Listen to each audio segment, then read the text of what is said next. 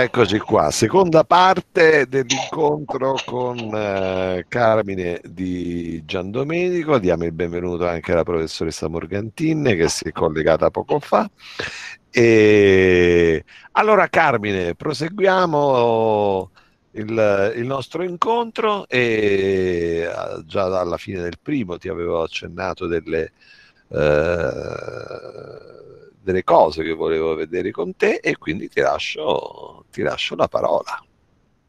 Allora, passiamo sul lato un po' più di come dei vari sviluppi, dei vari step no? di quello che succede con uh, la realizzazione di un fumetti. Prima di tutto, vabbè, c'è lo sceneggiatore che ha l'intuizione, la storia e quindi inizia a scrivere la storia. Come si scrive una storia a fumetti? La storia a fumetti non è un romanzo, non è un racconto, non è una poesia, quindi eh, è un linguaggio, una stesura di scrittura a step che è molto vicino a quella cinematografica o a quella del teatro, no? tipo scena 1, scena 2, scena 3, scena 4. Cioè ti descrivono le varie vignette che ci sono all'interno. Per fare lo sceneggiatore, ovviamente, la cosa più importante è che bisogna conoscere perfettamente i codici di linguaggio del disegnatore, che sono identici in gran parte molti a quelli del teatro e quelli del cinema, tipo piano americano, primissimo piano, quinta, ok? Ci siamo? E in più, una volta descritta la scena nel dettaglio, eh, vi è l'inserimento dei balloon, dei testi, dei dialoghi che i personaggi o il personaggio dà o il monologo nella didascalia. Cosa accade? Perché devono essere segnati anche i dialoghi di scrivere? Perché è importante per il disegnatore capire l'ingombro che ha diciamo, il testo all'interno della pagina, perché anche lì è importante equilibrare no? la pagina, come abbiamo visto all'inizio, nella prima parte, no? il bilanciamento, la stesura della narrazione all'interno della pagina, ma anche i dialoghi vanno studiati in merito no? Alla loro funzionalità, per esempio il primo balloon sempre in alto a, a sinistra, scusate sto di difficoltà di sinistra a destra, essendo mancino viene a dire a destra pensando che sia mia, invece la mia sinistra, però ok, quindi uh, in alto a sinistra e poi in basso a destra, e diciamo per una facil- facilitare la lettura. Una volta che si ha diciamo, la sceneggiatura completa c'è un'operazione di editing dell'editor che viene data a noi che siamo i disegnatori che siamo diciamo, i penultimi diciamo, che hanno in mano questa stesura perché l'ultimo sarà il colorista eh, nella fase realizzativa grafica. Eh, e da lì dopo un'ampia lettura si passano agli storyboard. Allora vi faccio vedere una cosa che sto facendo io allora quindi partiamo con lo schermo condividi. Ok andiamo sui documenti.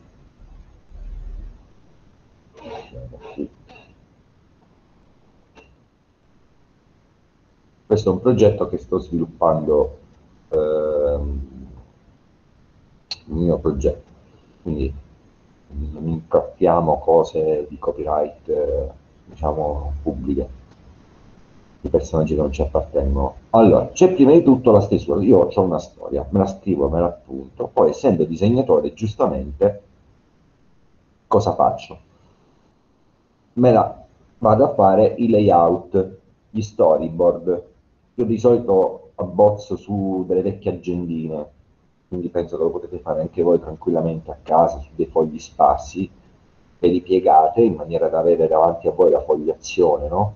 Per tornare ai termini di tipografia, e da lì iniziate a impostare il tutto su come volete raccontare la vostra storia. Vedete, sono dei segni molto blandi, cioè molto veloci, vedete ci sono anche le indicazioni di testo, no? di cosa dicono i personaggi, per capire, no? vedete qui, adesso si vede poco che sgranato perché la risoluzione è molto bassa perché l'ho per me che conoscendo la storia so che riesco a riconoscere quello che faccio. Però che succede? Che mi do delle indicazioni anche dove dovrebbero andare i testi, in maniera che riesco a bilanciare l'immagine e capire come inquadrare se il volto lo devo ridurre o allargare il campo per dare più spazio anche al testo. E c'è questa prima fase di stesura, vedete? Con tutti questi schizzi. Dopodiché, cosa accade? Si eh, passa alla realizzazione eh, della tavola, che sono a colori. Però adesso eh, ne apro qualcuna, credo questa qui che è lavorazione.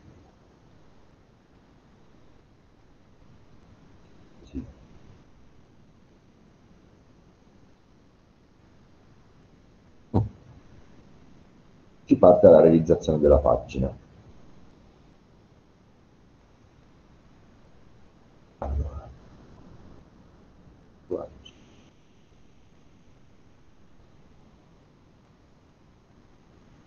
si parte con la realizzazione del disegno in bianco e nero, ovviamente, no?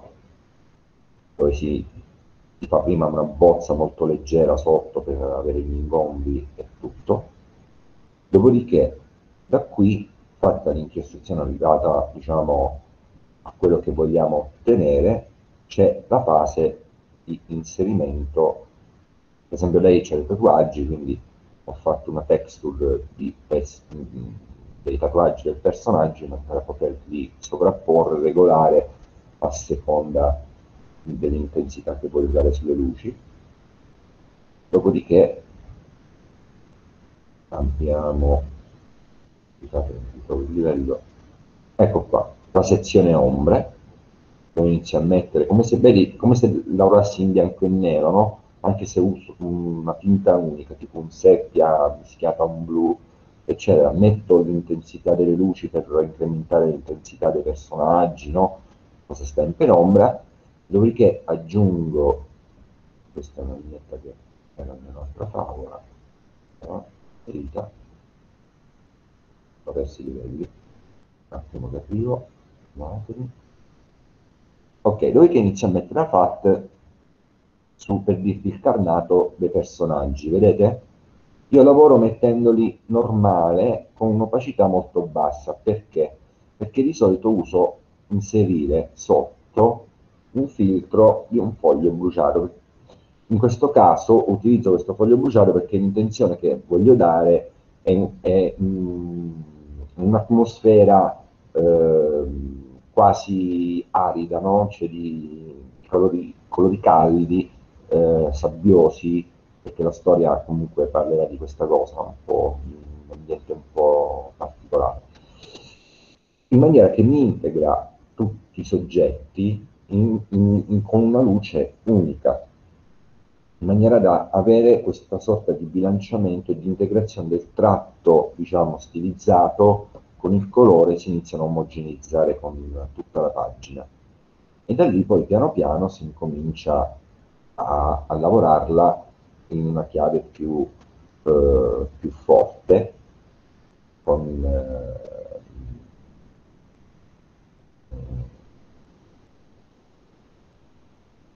per arrivare a una stesura più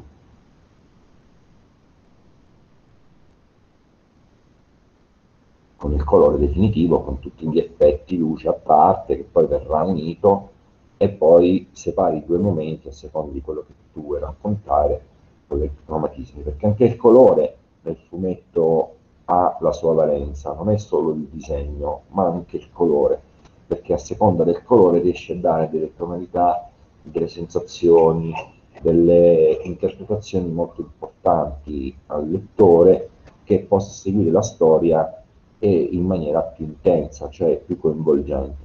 Per dirti, in questo caso, in questa storia che sto realizzando, si sviluppa in due fasce temporali completamente diverse. Quindi nel passato ci sono delle tinte e nel presente, che vedete ai due lati, più, eh, delle tinte più calde, mentre quelle più fredde, notturna, del passato, vedete, stanno al centro. Quando vi dicevo che poi ogni storia ha il suo modo di essere raccontata, ehm, è basata anche sul fatto delle scelte grafiche che si vogliono eh, ottenere. Io in questa storia, essendo una storia inventata in Nuova Zelanda, con gli spazi ampi eccetera, ho cercato di dare una struttura più orizzontale perché mi permetteva di dare più spazio ad alcune scene eh, naturalistiche, diciamo così, un po' da National Geographic, cioè, diciamo, po' esagerando un po' il termine, eh, quindi passatemi il termine National Geographic, però per avere questo campo largo in maniera da poter ampio respiro al lettore, fargli vivere degli spazi aperti. Vedete, quindi c'è tutta questa curiosità. In più volevo dare anche eh, un'impostazione, cioè voluto, voglio dare questa impostazione quasi da cinemascope, nel senso che siccome la storia è divisa su due binari, cosa ho, ho scelto narrativamente parlando? Eh, di fare la sezione del presente sempre in questi due tagli orizzontali che vedete in alto e in basso in chiusura, mentre il passato è chiuso sempre nella fascia centrale che è qui sul seppia, in maniera da queste due fasce eh, vignette orizzontali lunghe eh, equivalgono al nero che tu vedi al cinema che circoscrive l'immagine della storia, perché nella parte del presente eh, verrà raccontata eh, diciamo soltanto una parte di una semplice caccia, quindi non ci sono enormissimi dialoghi, è quasi completamente muta. Quindi che cosa fa? Questo elemento colorato equivale a quel nero del cinemascope, perché la storia è centrata al centro come al cinema quindi con una sezione di, di seppia eh, al suo centro. Vedete con questa tonalità e questa sequenzialità temporale, vedete la scansione del tempo, del ritmo e dei vari elementi che voglio dettare con il racconto. Si partono questi dettagli sopra e sotto che ti danno l'attesa e la quiete prima di scattare in una cosa che si vedrà dopo, mentre nella parte centrale con questo seppia invece ci sono dialoghi cioè della storia che si sviluppa e che ti raccontano in questa cosa. E c'è il linguaggio cinematografico, appunto, perché parlo sempre del linguaggio cinematografico? Perché comunque il fumetto è il fratello gemello separato dalla nascita dello stesso linguaggio. Quindi mh, mm, tendenzialmente il disegnatore di fumetti deve avere un bagaglio eh, mnemonico, ma anche un archivio suo a caso, tipo una mini biblioteca, ehm, da dove attingere, cioè perché comunque il modo di raccontare è molto similare. Quindi avendo questo bagaglio e avendo queste diciamo reference eh, ti permette anche di giocare e trovare degli schemi narrativi che più ti eh, appartengono o che appartengono alla storia che devi raccontare, come quando abbiamo parlato prima eh, di Magneto Testament, no?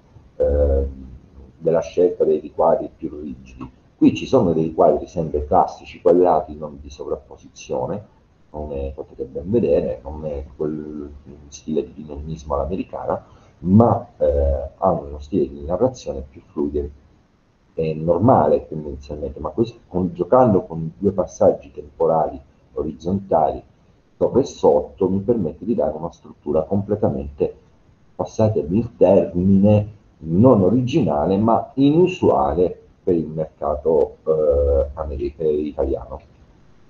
Vedete, quindi c'è tutta questa sequenza, quindi inizia la corsa, la caccia eh, e si gioca molto anche, soprattutto con gli attacchi, gioco molto anche con gli attacchi per, tra virgolette, passati in termini cinematograficamente, per analogia. Eh, che cosa significa? Che gioco con la presentazione di questa strana creatura che vedete in alto, no? Che ancora non si vede bene il volto, che appare nel passato in, in volto, nella parte seppia, nello stesso momento in cui si vede nel presente. Questo attacco così grafico si attacca non è proprio analogicamente perfetto, perché un'analogia vuol dire la sovrapposizione della stessa immagine in dissolvenza eh, o della stessa, che stanno nella stessa inquadratura. In questo caso non stanno nella stessa inquadratura, perché? E vi spiego tecnicamente perché. È un attacco di analogia temporale narrativamente, ma graficamente non lo è perché l'ultima vignetta, il personaggio che si vede sinvolto nel, nella penultima vignetta, ma come vedete è proiettato verso destra perché mi deve portare alla fogliazione della pagina successiva. Mentre qui in realtà c'è un attacco per analogia con il primo volto e l'ultimo volto, perché questa guerriera, diciamo, Maori che si trova nell'ultima vignetta, si capisce, questa è la tavola rivelatrice, e si capisce che la bambina che stai seguendo nel passato. E si trovano nella stessa inquadratura, però con due espressioni completamente diverse. Uno degli attacchi di analogia più famosi della storia del cinema, per dirti che quella più vicina a voi, non perché voglio fare questa sempre differenza di età, però insomma che è più facile può essere che avete visto in televisione, e, eh, si trova nel film di Highlander, di Christ- eh, interpretato da Christophe Lambert, dove c'è la scena di un'inquadratura di New York dove c'è un murales della Monna Lisa, la camera stringe su una Monna Lisa e in dissolvenza appare il volto di Christopher Lambert che si trova in Scozia nel passato. Quindi bisogna anche studiare molto, studiare tra virgolette, guardare, capire, farsi le domande, eh, oltre che a leggere ovviamente libri che parlano il linguaggio del cinema, guardarli soprattutto, perché poi c'è qualcosa che nei libri purtroppo, oltre al lato tecnico, non viene mai espresso, mm, che è l'intuizione narrativa, perché poi è quello che fa la differenza del, del, del regista bravo, cioè l'intuizione è quello che sa usare, capito? Per dirvi, per voi prima avete citato Matrix, no? come grande rivoluzione della narrazione visiva del cinema, ma Matrix, se andate a spulciarlo bene, eh, in realtà adotta eh, semplicemente eh, delle, ehm, come si dice, ehm, delle tecniche che venivano utilizzate nei videoclip musicali degli anni 70. Cioè erano effetti comunque degli anni 70. Cioè, che per voi sembrano assurdi quei movimenti no, con le fotocamere che fotografo Keanu Reeves mentre eh, si abbassa per schivare la pallottola, no? E, e, la camera gli gira a 360 gradi, si faceva già negli anni 70 nei videoclip delle rockstar americane. Cioè, quindi mh, mm, delle volte eh, andare da, a depredare il passato vi aiuta a raccontare meglio il vostro presente. Quindi questa è una cosa. Poi una volta che è stata fatta questa stesura, diciamo, si passerà al letterista, per esempio negli Stati Uniti funziona così, mentre in Italia il disegnatore deve pensare anche all'ingombro del balloon, deve disegnare anche il balloon, lo deve disegnare fisicamente sulla tavola, in America no, in America i balloon vengono cambiati e inseriti dopo. Questo perché adottano un linguaggio che anche qui negli Stati Uniti rispetto all'Italia ehm, una tecnica molto vicina sia al teatro che al cinema, nel senso che io non so quanti di voi conoscono Al Pacino. Lo conoscete? Ok. Sì, sì. Allora, perfetto.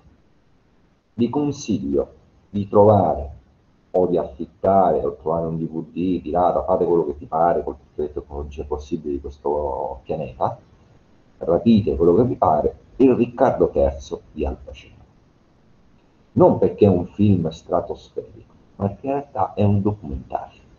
Lui ha voluto fare questo documentario di come lui ha sviluppato il Riccardo III e spiega come si lavora in teatro. Voi dite, ma che c'entra il teatro con il fumetto? E invece c'entra tantissimo, c'entra come il cinema, perché comunque sul teatro tu hai delle battute, hai dei personaggi che si devono muovere, teoricamente è una vignetta disegnata all'interno di uno spazio quadrato che è il palco, la scena, e cambia. Quindi, nella stessa maniera, lui spiega come si lavora nella sceneggiatura. Nella sceneggiatura in America succede che anche nei film, dopo la prima stesura e mentre stanno lavorando il film, si continua a cambiare la sceneggiatura. La sceneggiatura non viene blindata come se fosse un dogma o un decimo comandamento che non puoi cambiare, ma cambia a seconda di come viene reinterpretata o riformulata sulla scena. Quindi la stessa cosa in America la fanno sui fumetti. Se un personaggio spara una battuta XY, se il disegnatore fa un'espressione più grottesca o un'inquadratura che è più funzionale rispetto a quella che era descritta dalla sceneggiatura americana, che succede? Lo sceneggiatore non è che dice al disegnatore no, devi disegnare quella vignetta perché l'espressione non è come quello che dice nel testo. No, e lo sceneggiatore diventa collaboratore del disegnatore e cambia il testo per migliorare la forza del dialogo della scena che vuole raccontare a seconda del disegno che ha fatto il disegnatore in quel momento. Perciò i balloni in America vengono inseriti dopo. Quindi c'è una massima piena libertà completamente differente rispetto al mondo, eh, diciamo, al modo di fare a, in, in, Italia.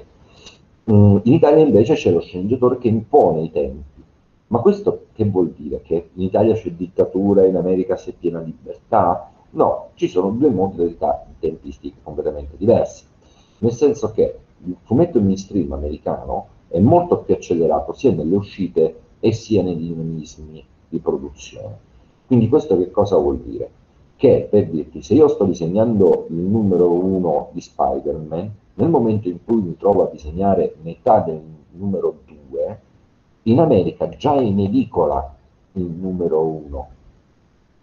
Quindi io ho 15-20 giorni per disegnare, produrre quella quella macchina, quella, quel, quel costrutto che dovrò avere in mano. Quindi cosa succede? Che gli americani danno piena libertà al disegnatore. Il disegnatore teoricamente è il regista della pagina, quindi se non sai raccontare ti trovi in difficoltà. In Italia questo non avviene perché uno, i tempi sono più dilatati, hai otto mesi tendenzialmente per fare un album Bonelli, tra i sei e gli otto mesi che sono 90 pagine però, non 28, sono 90. Cosa accade però? Che da una parte lo scrittore italiano è più preparato rispetto allo sceneggiatore americano dei fumetti, perché la sceneggiatura americana eh, è quasi una bozza, che come vi ho detto prima c'è una lavorazione molto similare a quella del cinema e del teatro, no? che è un work in progress continuo fino a quando non si arriva in stampa, alla deadline. No? Quindi lo sceneggiatore collabora fino alla fine del libro. In Italia invece lo sceneggiatore, conoscendo le piccanze tecniche eh, del disegnatore e del mezzo fumetto, una volta che ha scritto la sceneggiatura in maniera perfetta e, e redatta con, insieme al redattore, bam, è quella e il disegnatore lì non ha svincoli per, di interpretazione. Ok? Se ti dicono macchina del 1941, deve essere una macchina del 1941, non è che un Spider, per esempio, facciamo un esempio um, più semplice, Tex. Ok, c'è l'iconografia di Tex, Tex ha sempre lo stesso volto, ha il canone del volto, c'è il character design, cioè può cambiare un po' il tratto, la pennellata, che è lo stile del disegnatore, ma i tratti somatici sono quelli. Se voi vi fate una sfogliata, una carrellata su internet e scrivete Peter Parker, vi usciranno 8 milioni di volti diversi di Peter Parker. Questo perché lasciano piena libertà di interpretazione al disegnatore in America. Mentre in Italia devi dare rassicurazione all'utente finale che è il lettore. Il lettore deve essere coccolato e rassicurato, quello è Tex, non può essere un'altra persona. Però scusi se interrompo anche con Dylan Dog, invece, cioè Dylan Dog anche ho visto che ha avuto diversi disegnatori e nonostante sì. comunque il look che rimane sempre lo stesso ovviamente, sì, però il viso cambia. Cioè, allora, il viso è cambiato perché, ti spiego subito, perché poi subentra anche una questione tecnica che a parte interpretativa, ma il volto di Dylan Dog nel tempo è cambiato perché Rupert Everett non, non ha dato l'autorizzazione allo sfruttamento di immagine, che è basato sul volto di Rupert Everett. Tant'è che i primi numeri erano disegnati come il volto di Rupert Everett. Poi quando Rupert Everett fu invitato in, in, in, in Italia, proprio in uh, Bonelli, vide che c'è il personaggio col suo volto. Ovviamente, giustamente sì, bello, carino, però fece intuire che la cosa non è che senza autorizzazione tu puoi mettere la mia faccia come ti pare. Mentre Robert Mitchell non è che può protestare perché non, non c'è più Robert Mitchell, e quindi Robert Mitchell è Tex. Quindi voglio dire, ci sono, tant'è che il naso, se ci fai caso, nel tempo i disegnatori lo hanno reso sempre meno aquilino rispetto a quello di Rupert Everett. Tant'è che poi anche lo stesso Claudio Villa ha iniziato a sdoganare e dando anche una rivelazione che c'è anche Claudio Baglioni dentro al volto di Rupert Everett. Quindi c'è, c'è, un mix nel character design. Mentre su Peter Parker invece se vai a vedere Caterina c'è proprio eh, infatti Carmine scusa ti interrompo un attimo. facevo notare tempo fa ai ragazzi come Ken Parker sia Robert Redford. Esatto è Robert Redford. È Robert Redford quindi spesso si guarda a, a personaggi importanti del, del, cinema. Ma questo non è un errore nel senso basarsi su un volto già esistente perché se tu vedi protagonista un character design che ti affascina, è giusto che tu lo faccia, eh? attenzione. Ovviamente col, col, con le dovute, eh, ovviamente se devo fare un fumetto che esce negli Stati Uniti, in Francia, eh, in Germania, in Spagna, eh, in Ungheria, che per dirti una produzione massiva come quella degli Stati Uniti, ovviamente scattano dei codici copyright che dicono, oh, senti, questa fai soldini, la faccia mia, a quando il fenomeno resta circoscritto, diciamo, eh, in un'azione piccola, diciamo che lo manco te stanno a guardare, però tendenzialmente non si dovrebbe fare, cioè tendenzialmente puoi prendere il character design dei lineamenti che lo ricordino, che lo ricordino, ovviamente di un attore, di un personaggio che ti piace e reinterpretarlo anche in, in, a modo tuo, però nello stesso momento poi devi distaccarti, che se no rischi veramente di beccarti una denuncia e tu dici, ma sì, mi sta disegnato tranquillo, cioè invece no, e dice sì, per la faccia è mia. Quindi io per esempio mm, quando disegno ci, ci picco degli amici, ci picco dei colleghi, capito? mi ci diverto così, ma cioè, in maniera goliardica e vacanziera, diciamo così, in alcuni contesti. Però quando ri- riguarda personaggi di character design, quando mi mandano i materiali per gli Stati Uniti, cerco di, eh, di fare veramente eh, un volto più asettico, tant'è che se tu ci fai caso, i disegnatori eh, americani hanno uno standard del volto, sia maschile che femminile, cioè non hanno una caratterizzazione eh, fotografica come viene richiesta in Europa, appunto per non incappare in questi diritti, perché tu pensi, pensate questa cosa che è assurda, eh, che è capitata a Stefano Caselli, disegnatore di Spider-Man, grandissimo amico, un bellissimo autore che spero possiate conoscerlo perché eh, spulciate tutta la sua roba che è bravissimo. Eh, lui è stato disegnatore di Spider-Man, fu richiamato dall'editor perché lui disegnava il costume di Spider-Man e faceva le pieghe del vestito che si vedeva che Peter Parker metteva addosso una tutina. Di solito Spider è disegnato, vedete che i supereroi hanno queste tutine no? che sono tutti iperaderenti come se fossero dei scorticati umani, no? Ehm, e lui faceva le pieghe. E a un certo punto aveva fatto eh, un effetto sugli occhi a lente di Spider-Man a rilievo, leggermente a rilievo. Chiama l'editor e gli fa guarda ste, togli un po' sti effetti e togli, fa meno pieghe possibile sul vestito. E fa perché? Perché ci hanno chiamato il dipartimento della Sony che rischiava la denuncia per plagio. E fa, per plagio di cosa? Del loro Spider-Man. Ma scusa, Spider-Man non è vostro. Fatto sì, quello dei fumetti, ma quello del cinema c'ha la Sony. Se tu disegni lo Spider-Man che è molto vicino a quello della Sony, becchiamo la denuncia noi che siamo Spider-Man del fumetto. Capito qual è l'assurdità in America? Ma posso fare una domanda sempre inerente al cinema e fumetto? Cioè, ho visto che ad esempio, nei fum- anzi nel cinema giapponese, i fumetti vengono presi esattamente come sono, come storyboard. Esattamente, cioè sia la scenografia dietro, sia i costumi, sia le espressioni. Perché il fumetto è nato dopo in Giappone, prima è nata l'animazione in Giappone. Se tu pensi ah. Gundam, hai presente Gundam, il robottone, Peter Ray, non so se avete presente tutti sì, quanti. Sì. Ok, il fumetto di Gundam, la prima storia di Gundam è stata disegnata dopo il, il cartone animato, perché è nato come lungometraggio animato, loro ragionano per animazioni. Il fumetto poi è successivamente arrivato dopo e l'hanno utilizzato come elemento eh, di storyboard, come hai detto tu perfettamente Caterina, ehm, come uno storyboard di, un'anima, di un'animazione. Tant'è che lì escono i fumetti, eh, al di là del, del, le classiche brochure normali no, che troviamo in Europa, ma loro hanno nelle metro e nei bar, eh, poi siete troppo giovani, una volta quando c'era la cabina telefonica della SIP, attuale Telecom, eccetera, che si andava alle cabine telefoniche a gettoni, non è che c'era solo la cabina del telefono, ma c'era anche un librone con della carta pessima, con tutti i numeri di telefono della provincia e tutti quanti da sfogliare.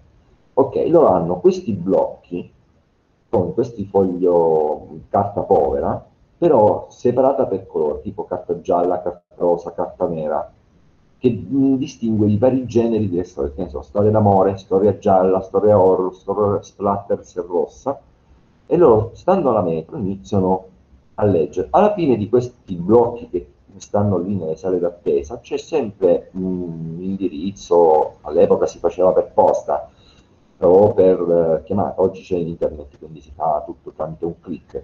Ehm, loro mandano le loro preferenze e la casa editrice che crea quel blocco di vari pacchetti di storie passa all'animazione della serie che ha avuto più successo, che è stata seguita e letta di più, quindi diventa un anime.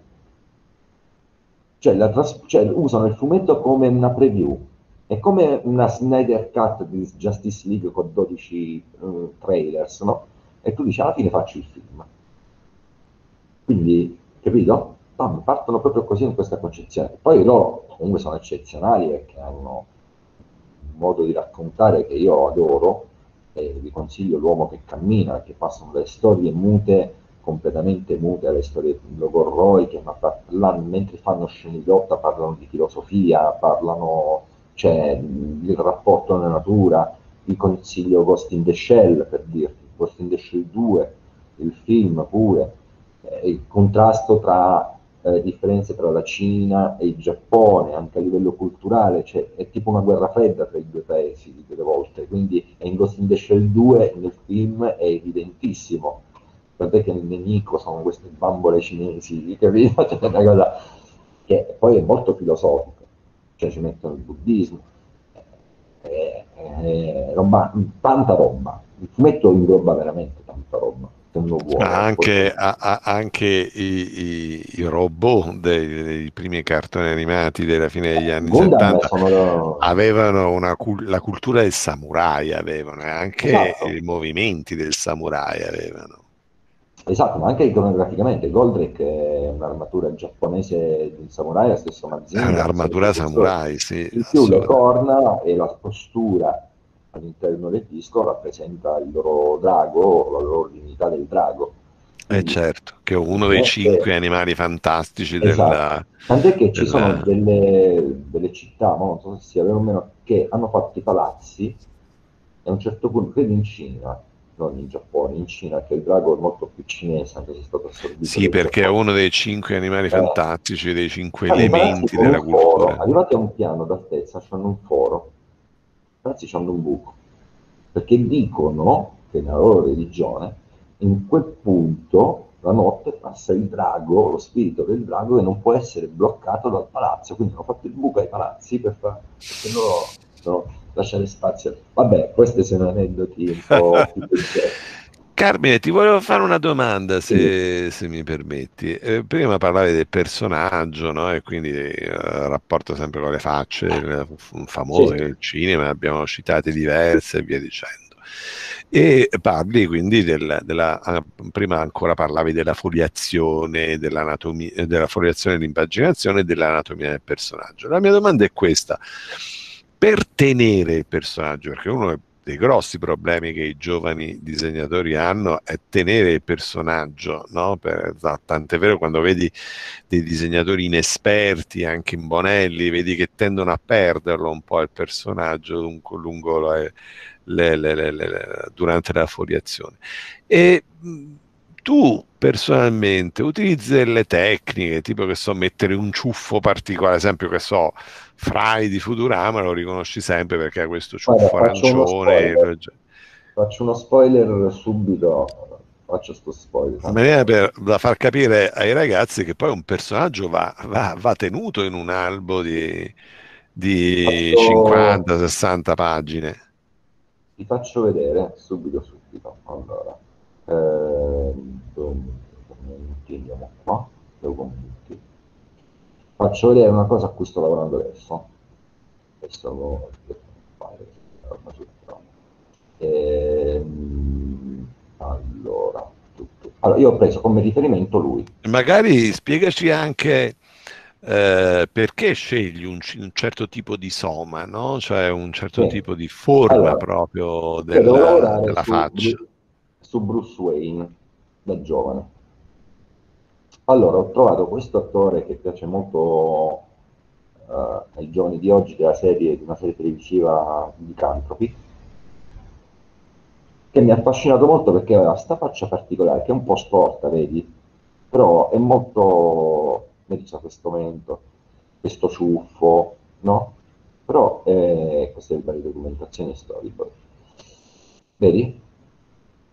Quindi che ho fatto? Quando mi hanno proposto di fare questa storia, la prima cosa che ho fatto è cercare di capire che tipo di ricerca di, del volto volessi, volessi affrontare, no? Quindi mi sono scaricato tutti i volti del personaggio, non più possibile per cercare di capire che tipo di conformità avesse il volto, vedi?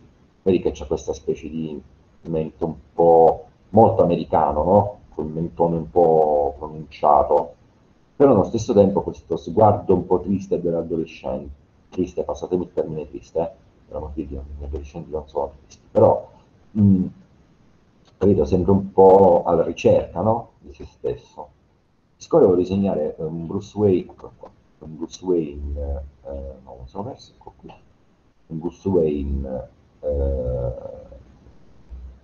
diciamo che andava crescendo nel suo percorso della storia, perché nella storia ci saranno vari step, cercato di mantenere quella smorfia e quel mento e soprattutto quel ciuffo da teenager, vedete qui, che sta nelle foto, che lo rende molto più vicino ai ragazzi di oggi, fino ad arrivare a un volto un po' più da uomo d'affari che è Bruce Wayne, intorno ai 27-28 anni.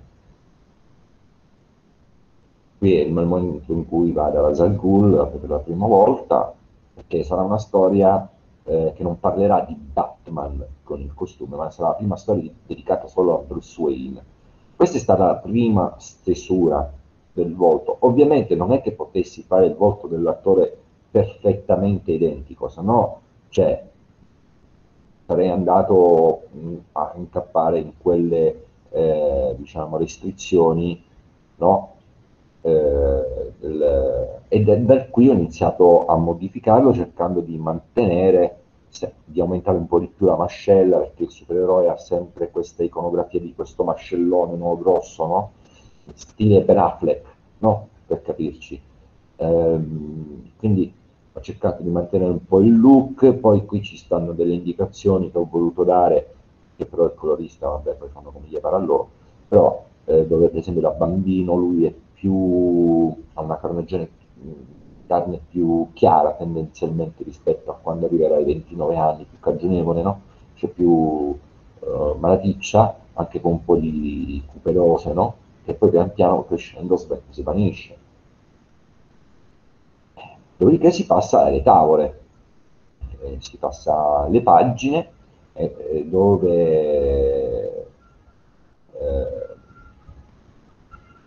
vedete già da qui mi inizia a discostare avvicinarmi più a Bruce Wayne del fumetto, però mantenendo capito, dei lineamenti più europei. Qui quando lui è piccolo ha diciamo tra gli 8 e i 10 anni.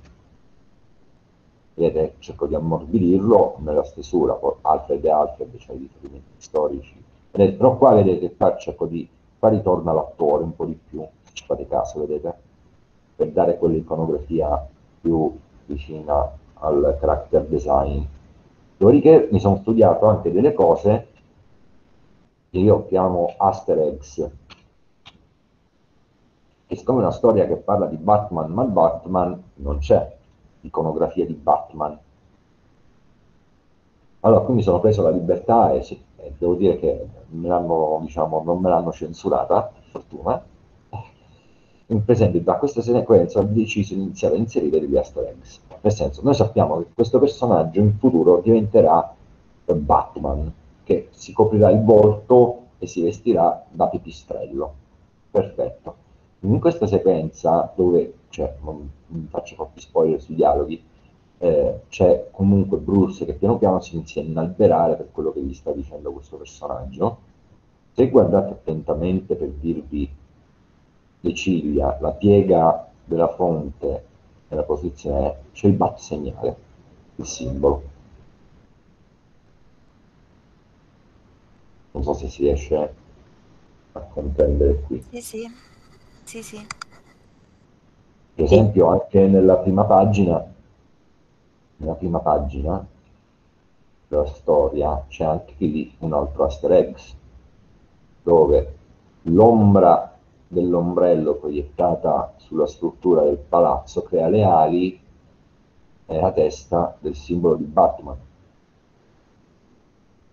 Cioè, quindi Batman ha cercato di inserirlo e questa è stata una cosa che poi lo sceneggiatore ha provato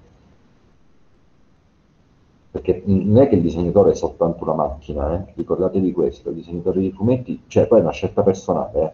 cioè di chi, vuole mettere diciamo in gioco o meno, eh, però siete parte integrante di un progetto, quindi tutte le migliorie che voi pensate che possano ehm, migliorare una trama nella sua narrazione, dovete esplicarle cioè dovete dirle perché voi non siete la parte semplicemente eh, pratica del disegno, ma siete parte narrativa. Voi mh, dovete intraprendere questa carriera, dovete capire che siete eh, prima di tutto narratori, voi siete dei scrittori di immagini. Perciò io quando dico che il fumetto è la dattilografia del tempo, perché voi siete scrittori, perché il vostro disegno è il vostro alfabeto, quindi se riuscite a raccontarla meglio e dare degli input maggiori, eh, parlatene con i sceneggiatori, parlatene con l'editor che vi sta seguendo, spiegatelo perché fate, fate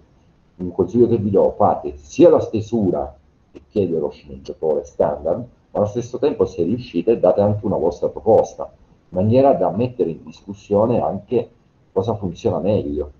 Che non è detto che lo sceneggiatore crei il dogma in assoluto. Per dirvi, eh, per esempio poi questa cosa del pipistrello ritorna, a qui c'è per esempio il movimento Igor Cassino, che ho dovuto citare un campione olimpico, dove c'era scritto una sceneggiatura, Bruce Wayne volteggia. Eh, come volteggia Bruce Wayne? Boh, tu lo sai, io non lo conosco, tu lo conosci, io no.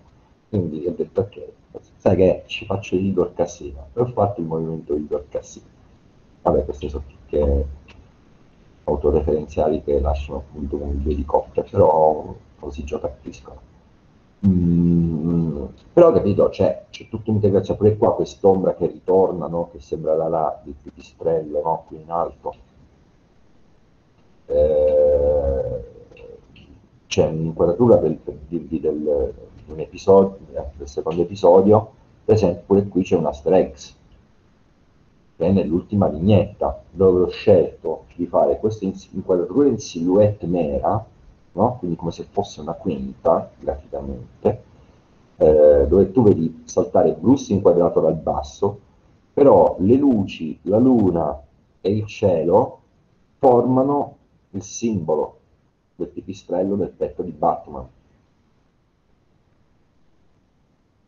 Quindi dovete imparare anche a, a trovare il lato divertente.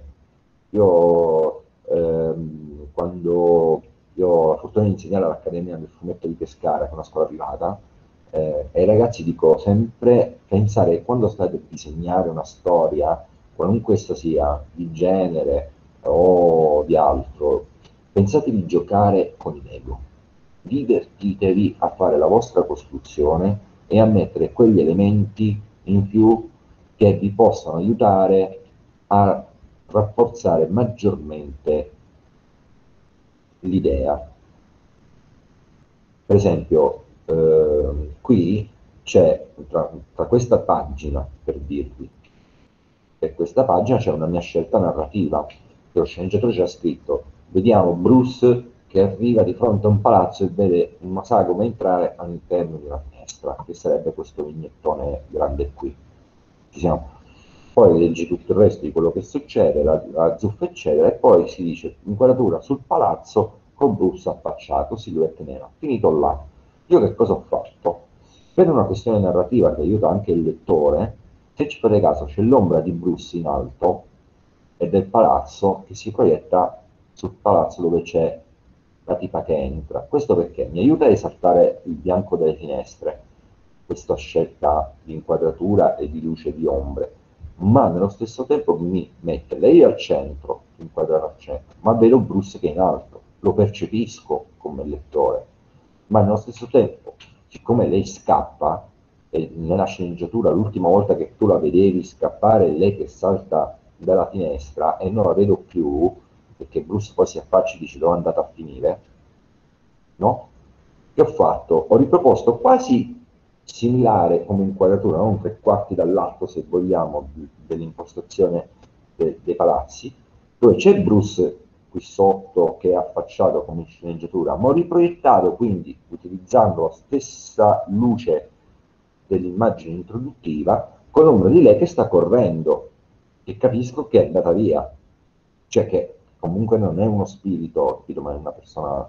E poi divertitevi tanto quando vi capitano queste scene, per dirvi di quotidianità, qui c'è Bruce che sta facendo colazione con la cameriera in un posto a Parigi. Ok, perfetto. Ti dico una scena di, bar, di, di Bruce che sta a prendere il caffè. E come la disegno? Quindi, quando per esempio Giuseppe nella prima lezione vi ha detto guardatevi intorno, andate sugli autobus, portatevi il taccuino, schizzate il più possibile perché dovete imparare fare, ad avere un bagaglio culturale visivo del quotidiano. Io qua c'ho inserito questa qua che bacia lui a sorpresa, il bambino si sta divertendo a lanciare i fogli eh, de carta del bar mentre la mamma sta Dio questa fa fermate, il papà che sa ride, eh, questo che sta a chiamare il taxi che sta tutto a sinistra, che mi questo che porta la baguette, il gatto che sta a spiare qualcosa che sta sul tavolo, i piccioni che stanno per strada, alcuni che volano, questi che sta a parlare, cioè mh, mm, mh, mm, ci stanno eh, delle cose che vanno a correggere, cioè non è solo disegnare i due personaggi che interagiscono, che sono i protagonisti, ma anche il loro contorno, devi dargli vita, devi dargli un contesto a dove si sviluppa la scena altrimenti per esempio questa scena c'è lei che se ne va, lui che rimane in ombra e tutto quanto, ci stanno i personaggi, gli avventori che ho deciso di inserire che ci stanno, ma c'è questo, capito, che fa il versetto che wow, capito, che, che bella tipa che sta a passare, capito? Perché sono cose del quotidiano, sono scelte narrative che vanno fatte, queste le fa il disegnatore.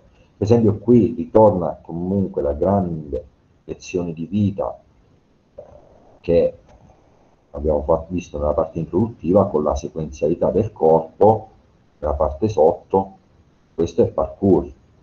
Nella sceneggiatura c'era scritto eh, sequenza di Bruce che salta per i tetti e corre. E da come inquadro, che fa? E qua mi sono inventato questa cosa che figura multiforme, che salta, rotea e va quindi ci sono varie inquadrature, varie cose. Dipende da... dovete giocare, cioè dovete pensare a un inserto prospettico e un inserto della figura eh, parti integranti della narrazione stessa, che non, non può essere scollegato, altrimenti diventa freddo e soprattutto ostico al lettore finale, la lettura, la lettura deve essere fluida, cioè de- si deve capire anche se non ci sono i dialoghi. Cioè, quello che succede lo devi far capire anche se mh, non ci fosse scritto nulla. Né un'onomatopea né un dialogo, cioè l'immagine deve scorrere come se fosse un film. De- deve muoversi. E questo lo si ha dopo un'attenta attenzione, eh, analisi, studio e comprensione del corpo e dello spazio, del corpo di come si muove. Per esempio anche le dita delle mani, le mani sono importanti, come si spostano, come si mettono, esempio questo è un work in progress che sto facendo, nella, nella prossima tavola, capito? C'è l'ambiente, ci sono i poliziotti che sono entrati dentro, loro devono scappare che i poliziotti sono entrati dentro l'appartamento che stavano rapinando, per esempio lui che sta fermo, capito, che è impaurito perché ha le prime armi, lei che è più tattica, capito, sta a cucciare, gli sta facendo il gesto, gli sta a dire, oh, attendo che due stanno lì sotto, andiamo di qua, e vedi, per esempio, la manina di lei col dito che indica verso quella parte aiuta il lettore, vede qui lei, c'è il ditino, no? Che sembra una cavolata, però ti aiuta visivamente a capire che lei sta indicando che stanno andando verso quella parte Siede? So se... Sì, sì. Sì, sì. Sì, sì. E vi ha dato tantissimo materiale, se avete domande fatele eh, ragazzi, non abbiate, non abbiate paura. Eh. Cosa fondamentale che vi dico, quando disegnate un corpo in movimento, non usate mai il cerchio. Il movimento è ellittico, perché l'osso è inserito all'interno di una cuffia, ma sopra l'osso ci sono i muscoli che fanno massa, e se fanno massa bloccano alcuni movimenti. L'esempio all'inizio che vi ho fatto della clavicola non è, non è tanto a caso, perché se voi prendete i libri di anatomia e guardate la struttura del, dell'inserzione, del, della congiunzione tra clavicola e scapola, no? Facciamo una cosa, scusate, la faccio prima, se no parole diventano un po'... Un po più, per il disegnatore più veloce del mondo è più veloce di disegnare. Eh sì, una dialettica del trattenimento, spero di non annoiare. Allora, rifacciamo così, ok prendiamo Photoshop, chiudiamo un po' tutte queste finestre, no? Sentiamo, no, no, scusate, troppo la date, fossimo in una classe che una lavagna avrei già fatto, però vabbè, troppo intestino, vedete? Sono i tempi del, dell'online, capito? Eh, no, mi spiego, uh, nuovo.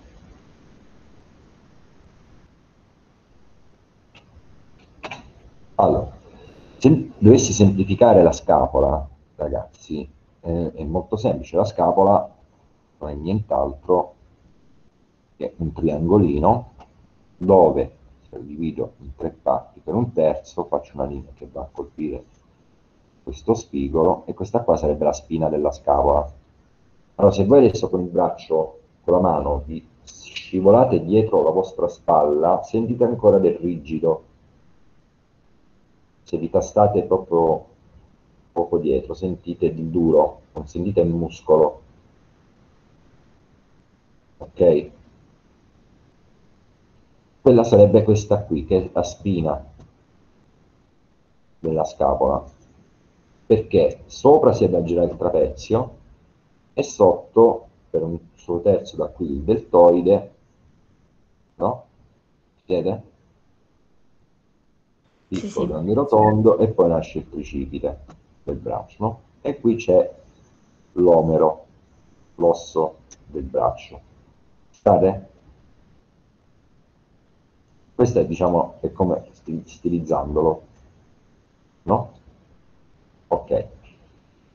Premesso questo, perché vi ho citato la spina? Perché la spina, cosa fa la spina della scapola? La spina della scapola, che ha la cuffia articolare e pettiforme così, se io la vado a tagliare, è vista di taglio, ho la cuffia e la scapola è questa. Però questa spina, che io ho tagliato in realtà, prosegue, va avanti e viene nella zona anteriore. Tant'è che se vi toccate la spalla, l'osso della spalla, sentite come un gradino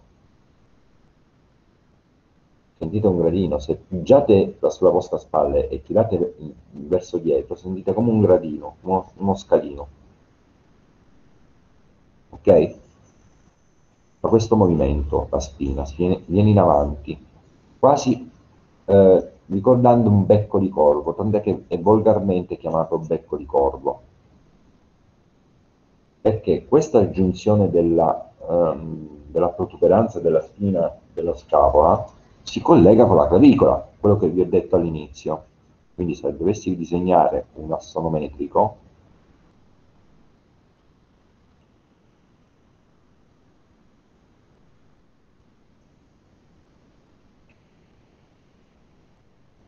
della scapola collegata con la clavicola, sarebbe questo scalino qui che vi sentite, se vi toccate, e qui dentro si attacca l'osso dell'omero. Ok?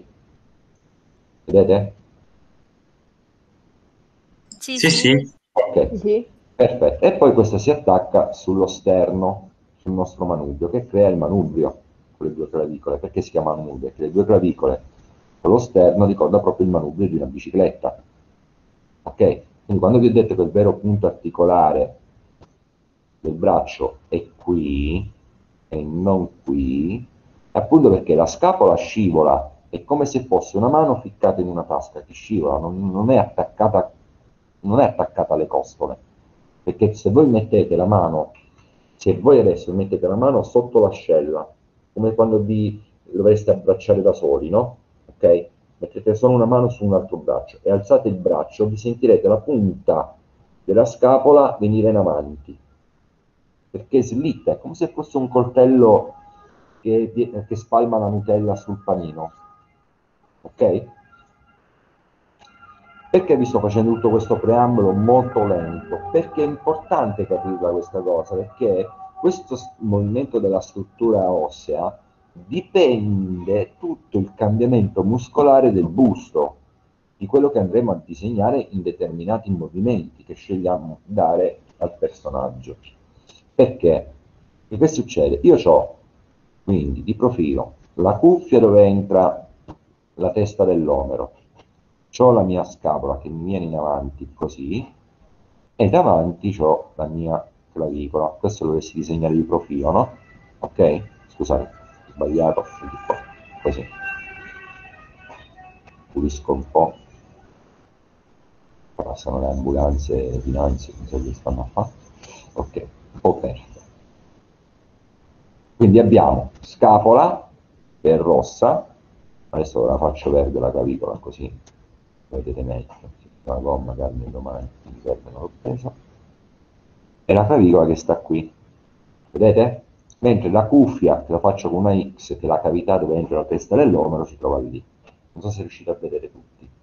Sì, sì. Lo ingrandisco un po' di più, forse così più Sì, sì. anche se è uno scarabocchio, ok. Perfetto. Allora, perfetto. Cosa accade adesso? Perché vi sto facendo tutto questo preambolo lento e forse anche un po' noioso? Perdonatemi, eh?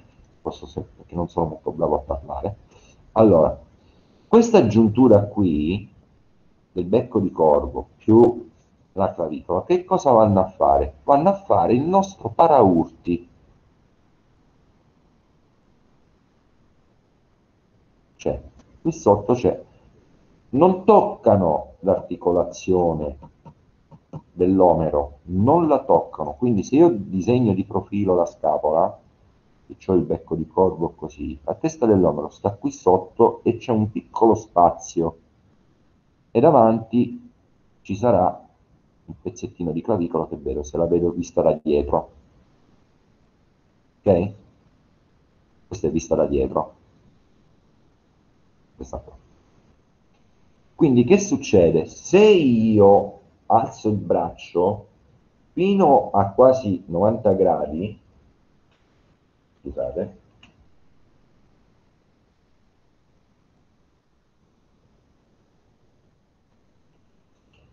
se io prendo il mio personaggio, lo scheletrino, Nightmare Before Christmas, no?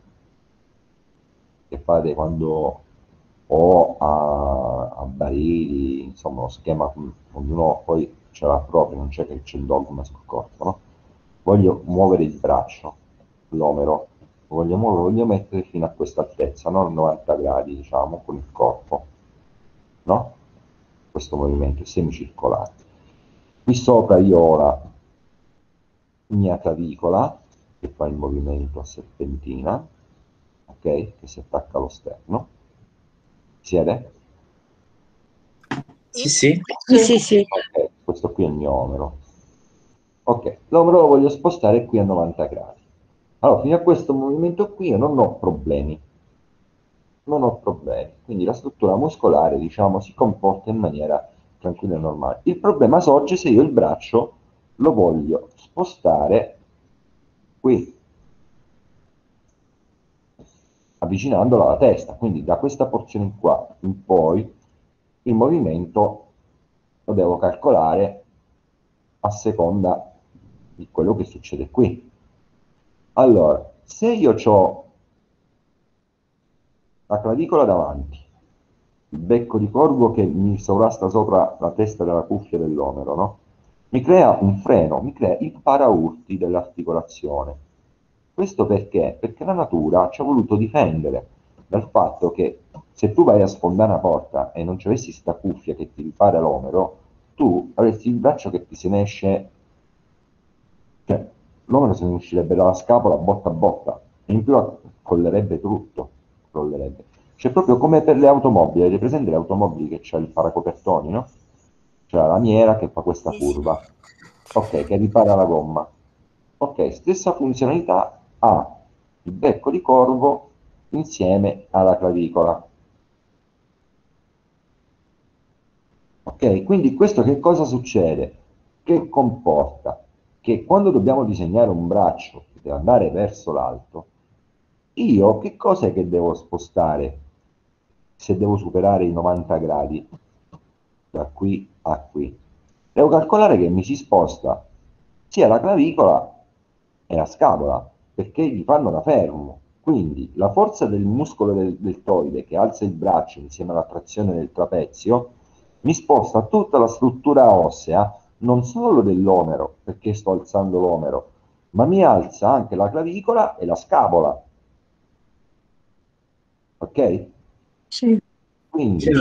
la trazione muscolare farà perno sulla giuntura della clavicola, che è il vero punto articolare del braccio, cioè qui, e quindi dovrò calcolare prima che si sposta la clavicola che va verso il mento, quindi calcolare sotto dove sta l'omero, e poi sposto il braccio ai suoi 90 gradi, in maniera da ottenere un movimento anatomico fluido.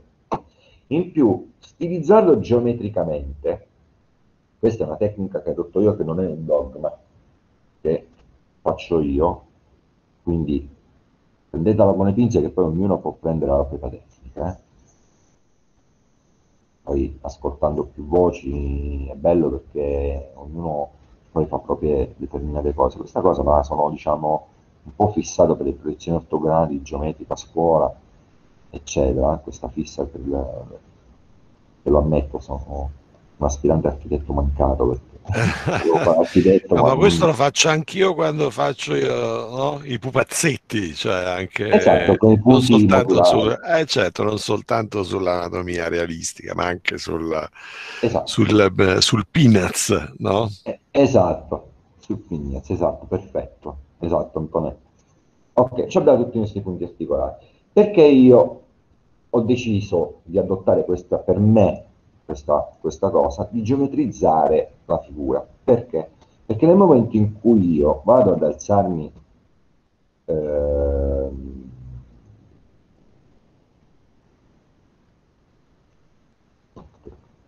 allora, decido di alzare la clavicola, no? Come vi ho detto, con un movimento semicircolare, alzo la clavicola che il punto massimo è vicino alla mascella, oltre non può andare, no? E mi rimetto le sue grandezze e mi vado a ridisegnare il, la, la scapola, ci siamo, vedete? La punta mi esce fuori dalla gabbia toracica, vedete? Sì, sì. Ok. Allora, questo è per disegnare i supereroi, non le persone normali. Ok, da qui rialzo l'omero, ci siamo? Allora, a questo punto qui, se io dovessi disegnare il dorsale, sapete che il dors- qual è il dorsale, no? Il muscolo del dorsale, no? Quello che qui c'è il dentato, il pettorale, il toide, il bicipite e qui c'è il dorsale, il muscolo più grande del corpo, no? Ci siamo? Avete mai visto i, i, culturisti quando allargano e alzano le braccia che si gonfiano il corpo? Sì, okay. sì. sì. Ok, Allora, il dorsale quanto mi si allarga per disegnarlo? Ok, io facendo questa cosa mia, cioè di geometrizzare la scapola e quindi avere un punto esterno fuori, mi dà di quanto mi si allarga il dorsale e poi mi si ristringe per sapere di come mi si è allargato. Mentre se quando sto basso l'ho stretto così, il dorsale, non diventa questo più, più grande. Cioè, oh, aia, ok. Vedi? Si stira e si allarga. Contate una cosa, che quando il braccio si alza, il dorsale non è in contrazione, ma è in stiramento. Ci siete? Sì, sì. Sì, sì. Ok. Perché si gonfia allora?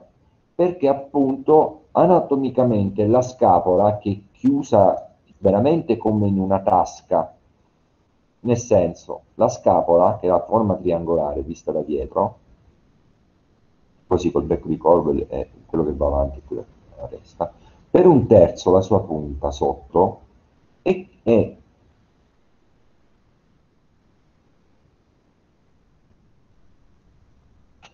per un terzo qui, che va verso un terzo dell'omero, è nascosta appunto dalla fascia, di questo si parla dei muscoli della schiena, dal muscolo del dorsale.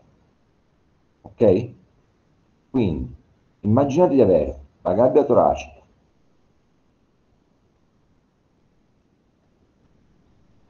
la linea della scapola e poi il muscolo del dorsale che lo avvolge per la punta un terzo. Ok? Quindi diventa come una, una tasca, il dorsale diventa una tasca e, e la scapola diventa la mano ficcata nella tasca.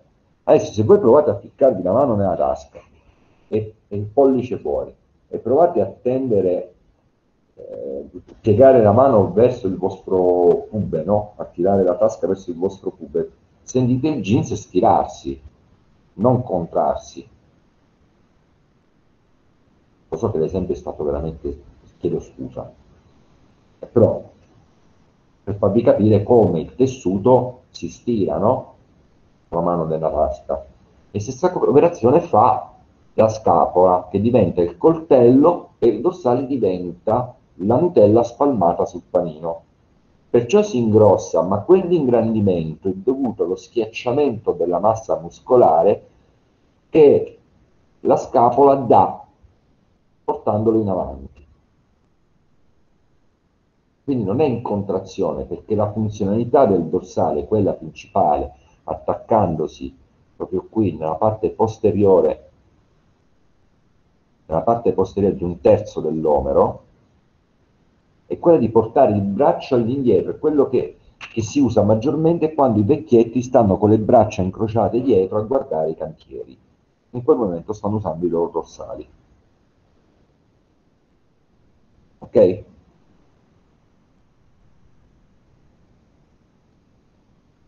Siete svenuti? Sì. Ah, Perché- Ragazzi, ogni tanto dite qualcosa perché quando uno condivide lo schermo non vi vede, capito? Quindi date dei segnali di vita, ragazzi, eh? Sì. Ok. Ok, È tutto so molto chiaro. È chiara questa cosa del dorsale, come funziona? Scusate anche l'esempio un po' troppo strano, quello della tasca, chiedo scusa, però per farvi capire come il jeans si stirava rispetto al fatto della contrazione. Quindi quando vi dico di studiare abbondantemente la struttura, cioè di, di- di- di, di capire i punti articolari, cioè collo, schiena, clavicole, con la scapola, l'omero, un radio, le mani, vabbè, poi non parliamo delle mani, questo, le anche, la schiena. Per esempio, la schiena. La schiena è mobile? Sì, ma di quanto la posso muovere io la schiena? Allora, se io devo fare una torsione laterale fissa, senza innarcarmi, il punto massimo è la spalla. Cioè, che voglio dire, prendete la linea della vostra schiena, da qui all'attaccatura dell'omero, e vado in questa maniera. Poi con un movimento semiellittico a compasso mi riproietto le proiezioni e mi sposto la gabbia toracica e la testa così. Questo è il massimo che può fare la gabbia toracica, cioè la colonna vertebrale, scusate. Ok? È il massimo. Dopodiché vi spezzate. Ok? Sì. Ok. Questo è frontale. Se sto di profilo invece,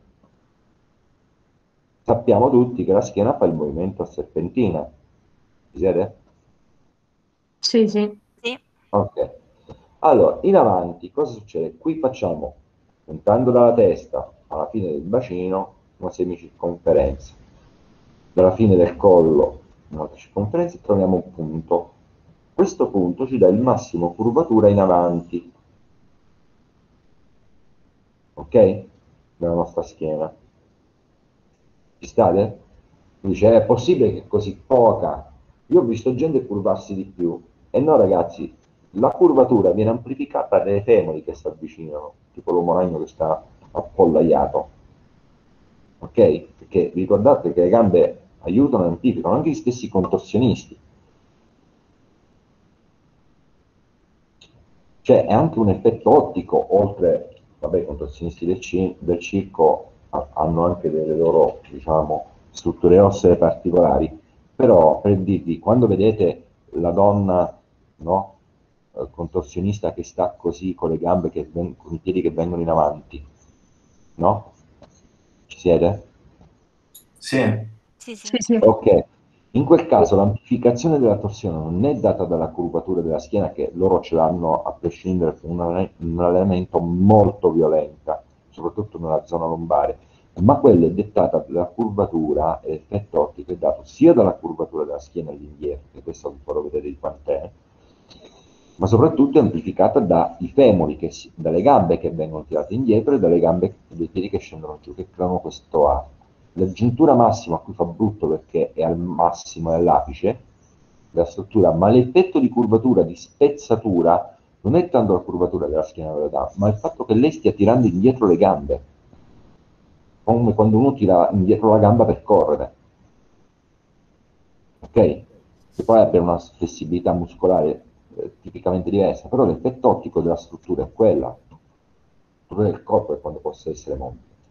Allora, poi, contando il fatto che, come sapete, le vertebre hanno dietro la spina, no? Abbiamo la Sì. spina come quando esci. Ok, questa perché? Perché serve a difendere il midollo osseo che si trova al suo interno. E se fosse senza niente, uno si, si piega come gli pare, slitta tutto, invece questo danno dei blocchi.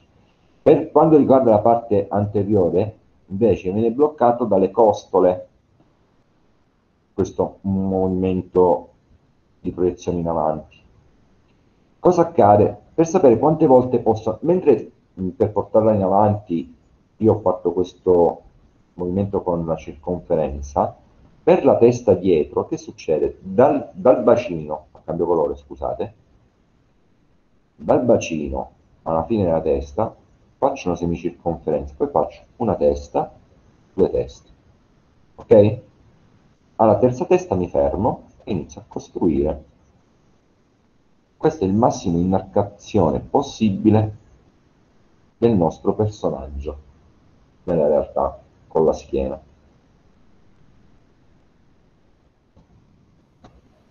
Oh, ragazzi, questo eh, vale per la figura umana, diciamo, col canone eh, realistico, ma vale pure per il pupazzetto, eh.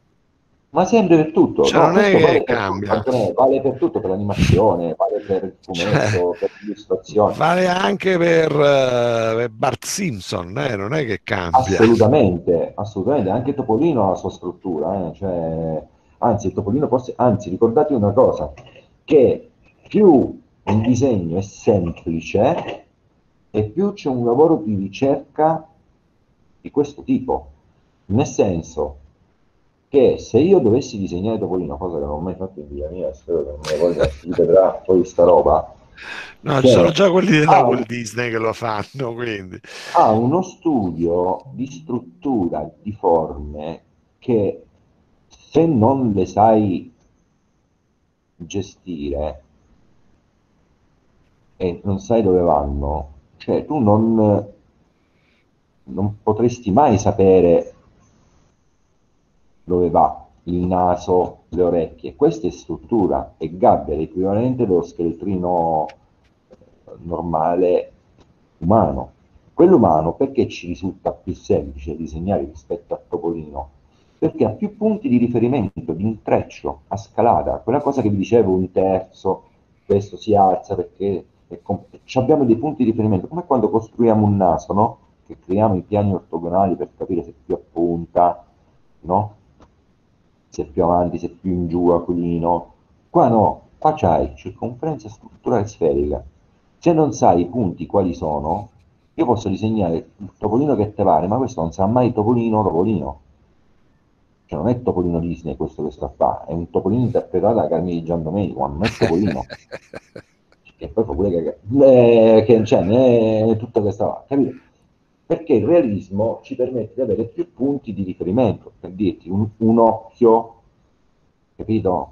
Cioè, faccio l'occhio, dall'occhio so che c'è un'insinuatura, la cavità, da qui so che mi posso collegare e fare attaccatura nel naso, terzo occhio, come distanza per fare l'altro occhio, è tutto un po' accaduta come ragionamento. Ok, scendo giù, divido la pallotta nel naso, la narice, cioè, capito, è molto più strutturato con dei punti, con dei canoni che mi scendono giù a pioggia, mi danno dei punti di riferimento.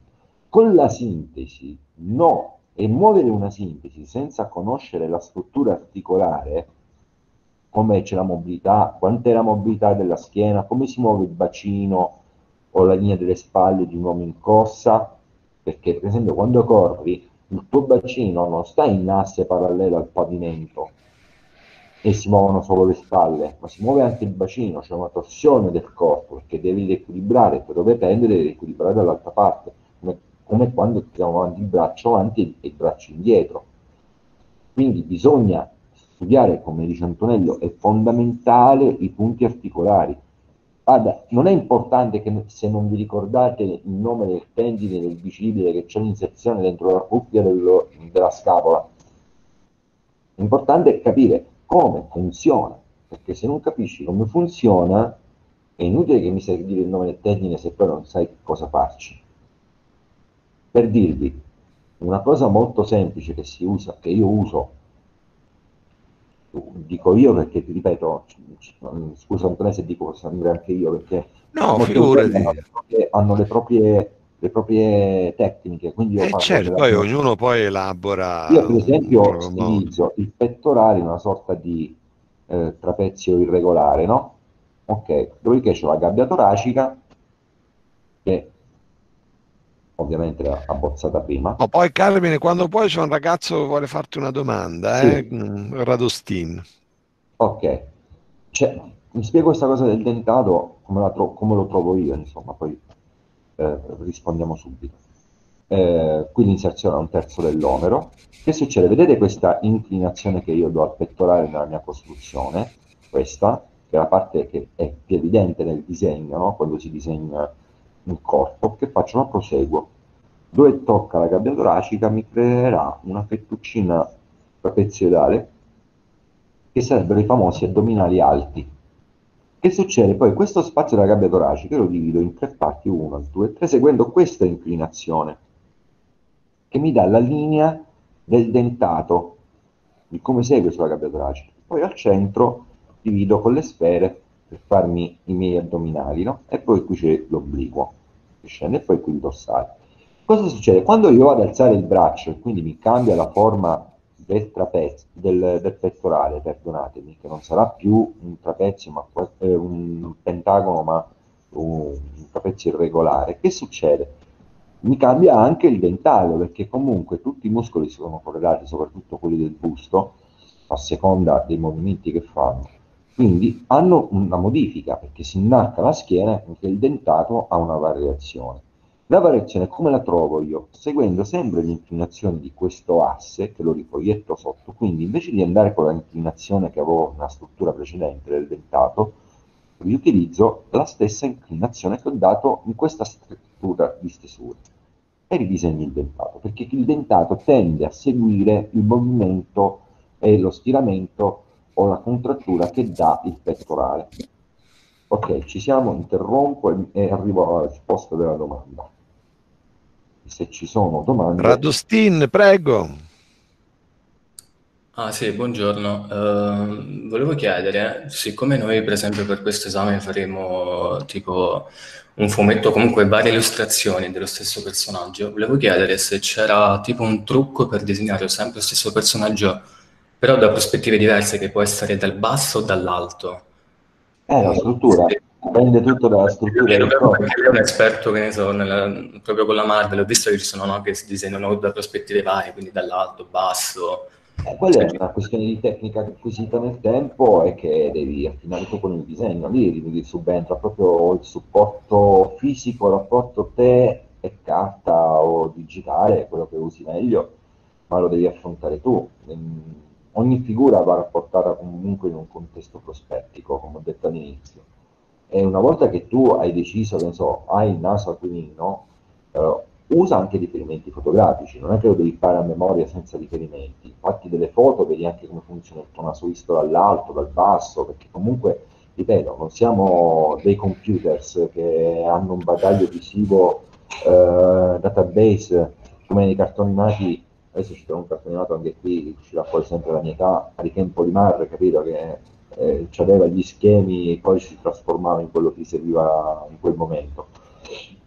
Devi ovviamente osservare tanto e l'impostazione della struttura del corpo va inserita nello spazio e integrata con lo spazio circostante. Un consiglio che vi do, quando, impost- quando andrete a fare le pagine, disegnate prima gli ambienti, prima del personaggio, mai, mai il personaggio prima, mai e disegnatevi la griglia, o chiamata anche volgarmente scacchiera, del pavimento. Partite dalla piastrella dove poggia il personaggio, altrimenti rischiate di avere il personaggio o che vola o che sta cadendo nelle sabbie mobili. Non poggia nello spazio che voi avete creato. Quindi create prima lo spazio.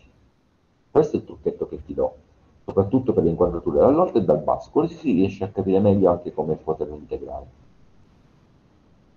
spero di essere stato esaustivo. perfetto, grazie mille, era proprio quello, cioè, grazie.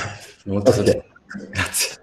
Poi costruirsi dei moduli, come diceva lui, con eh, i punti nodali per, per poter muovere il personaggio, questo sia ancora di più se fate un personaggio che non è realistico, no? creare dei moduli, dei moduli che poi li eh, girate. Guardate che spesso si fa proprio tridimensionale. C'è una bellissima mostra un paio di anni fa, se non vado errato, al Palazzo delle Esposizioni sui personaggi della Pixar fatti, ma veramente esatto. fatti con la creta, eh? cioè... Anche Richard Corben, nel disegno dei fumetti dell'epoca dell'Eternauta, lui faceva prima le sculture, che poi è scomparso credo quest'anno. Sì. Eh, Richard Corben faceva le sculture dei propri personaggi, in maniera che quando doveva mettere le luci o inquadrarlo dall'alto aveva il suo personaggio fatto in scultura. Certo, c'erano le sculturine. Oh, e è, è, è, giusto quello che dice Carmine, nel senso che dovete averla nella mente la cosa, perché ricalcare la fotografia, guardate, il disegno non è il ricalco di una fotografia, ci sono alcune cose nel disegno vengono reinterpretate. Se andate pedissequamente a ricalcare una fotografia, otterrete una brutta fotografia, otterrete. Esatto. Più fredda, più fredda della foto stessa che avete fatto. Il discorso è questo, cosa, un esercizio che secondo me dovete fare Mo, al di là dell'esame che dovete preparare la tavola, che i tempi sono stretti, perché ovviamente prima sì, volta... Io ho dato il classico turnaround per fare eh, vabbè, il personaggio. È giusto che ci siano dei, dei tempi. Eh, prendetevi delle riviste di danza o di fitness. Lo so che vedere corpi antropomorfi pompati fa brutto, però non è che per disegnare quelli, non è che li dovete disegnare. Con un pennarello prendete e fate i cerchietti dentro la spalla, dentro i gomiti e iniziate a ricostruirvi la strutturina su quella foto. Prendete fotografie anche di persone che saltano e ricattate con l'uniposca o l'evidenziatore a mano il, quello che faccio io, il Nightmare Before Christmas, no? le vignette, il cerchietto, le linee della struttura. Allora, questo è grande così, questo sta col braccetto, anche se non è, non, non è in un contesto cosmetico, proprio inizia a far capire come la struttura, quante capacità di movimento ha. Fondamentale, segnatevi anche le scapole, perché quello è fondamentale il movimento delle scapole, perché le scapole per la schiena sono quelle che cambiano completamente tutte le masse e i volumi della schiena, ma soprattutto anche il movimento articolare della clavicola con la scapola e della spalla in alto. Visto prima quando vi ho fatto vedere il dentato che cambia a seconda del movimento del pettorale, eh, quello cambia tutti i volumi delle luci, a seconda poi delle luci che mettete. Capire che ogni singolo movimento comporta una variazione di sovrapposizione o di distensione dei volumi dei, dei muscoli. Va bene. Beh, insomma, ti abbiamo torturato per uh, che... tre ore e mezzo, Carmine. Spero, che sia arrivato un po' chiaro, spero. La speranza è questa. Ragazzi, eh, ci sono domande? C'è qualcosa, qualche curiosità Questo che qua. volete chiedere? Eh, o vogliamo intanto eh, vogliamo lasciare libero Carmine dopo tre ore che ci ha spiegato? Allora siamo il stati pure sei, suo- sono abituato a chiudere forse da sei ore io. Vabbè, assolutamente sì. Certo, una volta in DAD è così, Ah, però... Una cosa volevo, volevo come dire, riflettere con te, una cosa che, che è cambiata, che oggi non si usa più. Eh, io adesso sto, ho ritrovato dei vecchi fumetti degli anni 70 nella mia casa terremotata e sto ricollezionando i vecchi fumetti Capitan Miki con la comandante Mark che io ho amato, che erano i fumetti della mia infanzia. E mi ricordo che per far capire la relazione fra i personaggi, la Dardo, queste case editrici qua, facevano, che so, se due erano fidanzati avevano la stessa faccia. Tipo, che so, uh, Mark, il comandante Mark e la fidanzata Betty avevano la stessa faccia. Cambiavano solo i capelli. Oppure, che so, Capitan Mickey e la fidanzata, che ora non mi ricordo come si chiamava, avevano la stessa faccia, no? C'era proprio questa grammatica semplice nel, nel, nel, fumetto di quegli anni. Sì, per cui per, attraverso il soma tu facevi capire le, le relazioni, quindi stabilivi un tipo di, di faccia, un tipo di... oggi. Sì? Oggi, sì, Si usa ancora? Prima Sì. era proprio palese, era, mi ricordo. Sì, ci sono dei volti standard ovviamente, prima era molto più prese, ma per esempio anche per differenziare un cattivo da un buono. Non so quanti di voi abbiano visto Unbreakable il film. Avete visto? Ok, guardatevi Unbreakable eh, perché parla di supereroi, di Shaman, però in chiave tutta sua, e, dove c'è Samuel Jackson, sarebbe poi, non faccio spoiler della storia, comunque fa il collezionista di tavoli originali, e c'è una parte del film dove lui spiega perché il buono è il mascellone rassicurante, quindi la forza, le linee morbide, mentre il cattivo è spigoloso, deve essere acuto, deve essere un, come un... Il classico era Malefica, Malefica di- Esatto. di- di- eh, era triangolare. Esatto, è triangolare perché la, la forma acuta incute timore, pericolo, pugnale, rappresenta il pugnale, ok? Ti ricordi zio Tobia che usciva a metà degli anni Grande zio 70? Tobia. Che aveva que- questa naso tu che faceva le, le storie dell'horror e questi capelli no? un Sì, po' sì. Unti un e diradati. la voce la tua ricorda un po' quella di zio Un Tobia. po' zio Tobia. Scherzo, non è, sto scherzando. Sto scherzando. Se mi fai cari, cari zombetti miei posso impazzire oggi, eh. Cari zombetti È miei. uguale. Facciamoglielo vedere, zio Tobia, va, Guarda, se trovi, sì. se no loro non, non sanno neanche di È cosa una cosa stiamo. molto trash, ragazzi, è una marionetta, eh. Cioè, è che- e ha preso dei fumetti di creepy disegnati da um, Bernie Wrightson. Una cosa che vi consiglio, un autore bellissimo, bravissimo, che è anche molto vicino all'illustrazione, è Barry Wrightson. Lui ha disegnato Frankenstein. Ragazzi, è una roba che sembra incisione, all'odore, un lavoro all'odore fatto tutto a china e a mano, niente digitale, che è uscito tra gli anni 70 e gli anni 80. Allora, le spiacevoli notti di Zio Tobia, te lo ricordi? Comunque sono grandissimi film, eh, grandi serie televisive, horror. E nasce proprio da una rivista che era Creepy, americana. Lo vedi? Sì, eh, di questo è Eccolo qua. Eh, però Allora- ti stai a eh, non hai messo il video. Eh. Mo loro volevano sentire se la voce era uguale, però. Ah! Te stai salvare, Antonio. Scusate quest'attimo con gli anti quel vacanziero. Allora, vi cerchiamo il video così glielo facciamo sentire la sigla TV di YouTube. Vediamo No, un po'. se- ci sta proprio cari zombetti miei di cercare. Devono sentire la voce che è uguale alla tua. Stavolta l'ho messo in castigo all'angolo. Ma Unbreakable, Unbreakable è in pratica la trilogia dove c'è anche Glass Sì, e esatto, sì. Ok. Mr. Glass, che sarebbe poi Samuel Jackson, collezionista di tavole originali.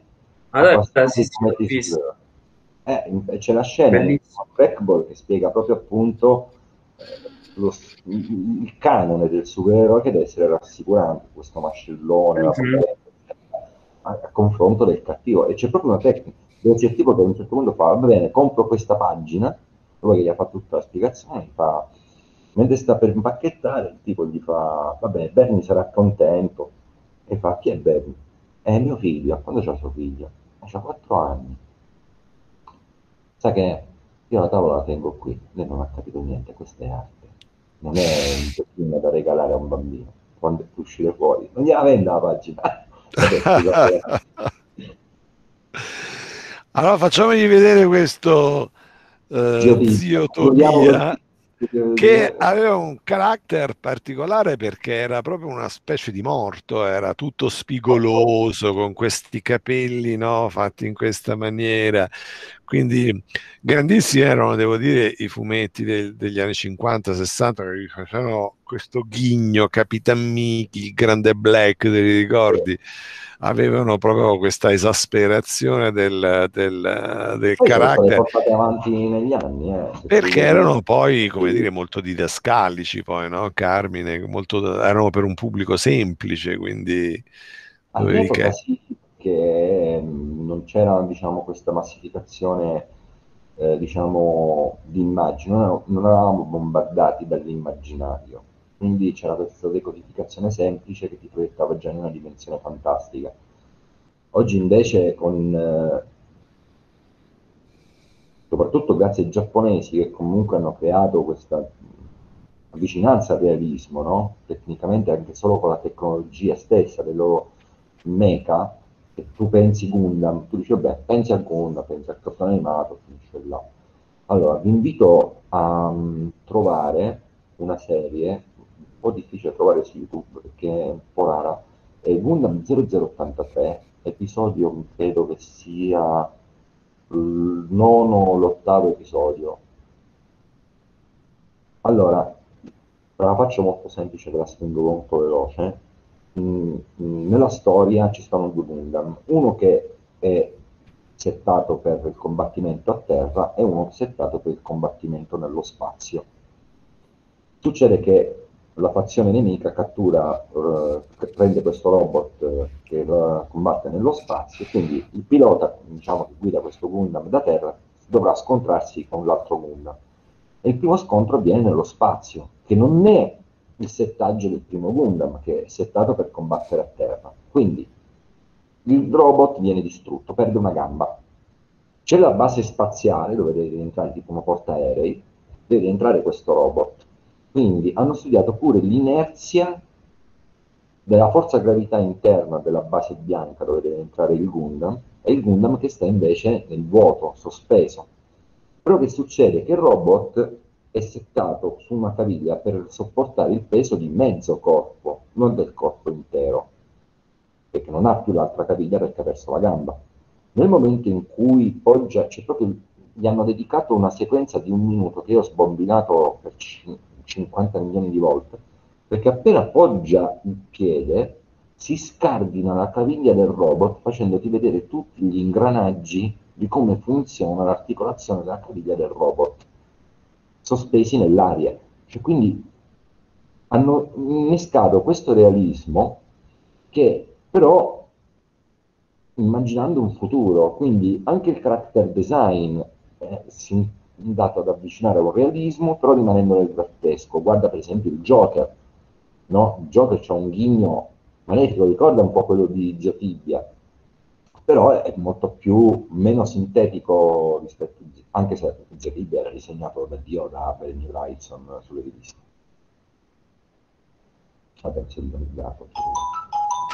Va bene, allora io come dire concluderei la lezione ufficiale adesso, eh, così interrompiamo la, la registrazione e quindi è arrivato qualcosa. rimanete, Magari eh, sal- prendiamoci i saluti di Carmine e i saluti vostri a Carmine.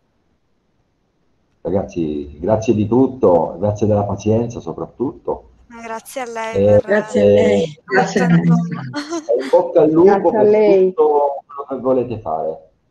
Crepi. Grazie. Sempre. Grazie mille. Grazie ancora. Grazie. Ciao a tutti grazie. Grazie ancora.